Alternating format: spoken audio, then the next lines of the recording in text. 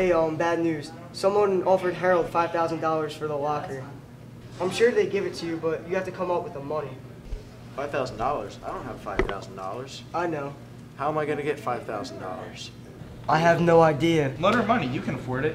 She doesn't want to borrow the money. Oh, come on. She'll pay you back. What's five grand between friends? Of course I'll pay you back. Yeah, so what's the problem? Who said there's a problem? He said he'd loan you money. Well, Jerry, it might take me a while to pay you back. Maybe a few years. How do you feel about that? That's okay, he doesn't care. You know, money can sometimes come between friends. Get out of here, man. Let me think about it. What's to think about? I don't know. I don't know. Five thousand? Let me just take one more look at it. It was all over, taken care of, done, finished.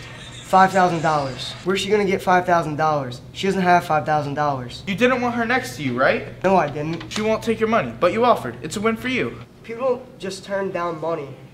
It's what separates us from the animals. Trust me. Trust me. I'll take it. Thanks, Jerry.